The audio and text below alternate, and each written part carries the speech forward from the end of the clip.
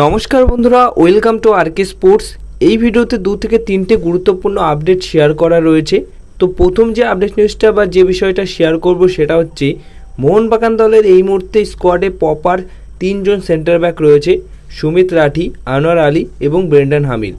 আর কোনো proper centre back পজিশনের player কিন্তু মোহনবাগান দল সই করায়নি। কারণ তাদের ব্যাকআপ হিসেবে অবশ্যই কাল ম্যাকিউক সুভাষিস বোস, এরা মোটামুটি সেন্টার ব্যাক পজিশনে খেলে নিতে পারবে। আর রিজার্ভ টিম থেকে রাজ বাসপোর এই প্লেয়ারটিকেও হয়তো প্রমোট করা হতে পারে।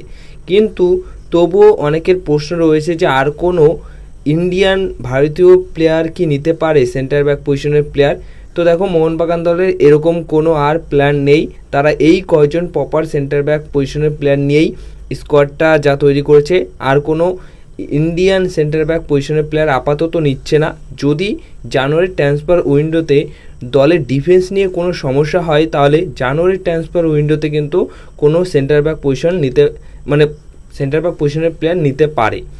তো এর পরের যে আপডেট নিউজটা শেয়ার করা রয়েছে, সেটা অবশ্যই ইস্ট বেঙ্গল এফসি দলের একটি বিদেশি প্লেয়ারের নিয়ে অবশ্যই একটা রিউমার উঠেছে, যেটা শোনা যাচ্ছে ইস্ট বেঙ্গল এফসি দল শর্টলিস্ট করে রেখেছে একটা স্প্যানিশ ডিফেন্ডারকে আর সেই স্প্যানিশ ডিফেন্ডারটির নাম হচ্ছে বোরজা গ্রেনারো তো বোরজা গ্রেনারো একজন তেত্রিশ বছর বয়সী সেন্টার ব্যাক পজিশনের প্লেয়ার বর্তমান মার্কেট ভ্যালু এক কোটি ষাট লাখ টাকা মতো। তো এই প্লেয়ারটিকে শর্টলিস্ট করেছে।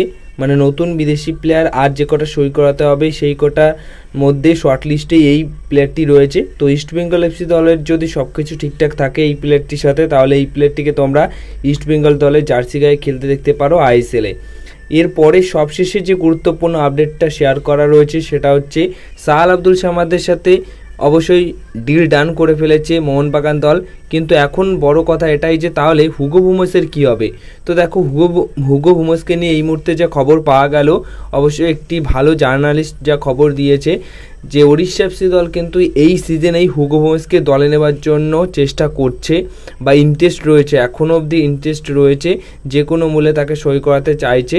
বাট এখনও অবধি এই বিষয়টা নিয়ে মোহনবাগান দল কোনো কিছু সাড়া দেয়নি ইন্টারেস্টও হয়নি যে হুগো ভুমসকে তারা ছেড়ে দেবে।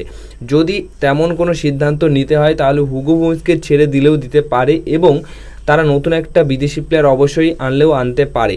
আর নতুন বিদেশি প্লেয়ার সই না করালেও হয়তো এমনও হতে পারে যে জনি কাউকেই আনরেজিস্টার প্লেয়ার হিসেবে রেখে দিয়ে পাঁচজন প্লেয়ারকে নিয়েই আপাতত তারা জানুয়ারির আগে খেললো। তারপর যদি জানুয়ারির আগে যখন জনি কাউকো ঠিক হয়ে যাবে, তখন ওই জনি কাউকই কিন্তু এই স্কোয়াডে সামিল হয়ে যাবে।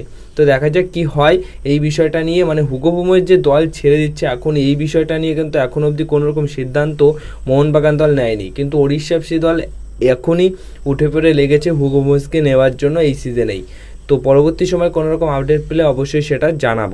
আজকের এই ভিডিওটা এই পর্যন্তই। যদি ভিডিওটা ভালো লেগে থাকে, ভিডিওতে লাইক শেয়ার কমেন্ট করো আর চ্যানেলটিকে সাবস্ক্রাইব অবশ্যই করে নিও।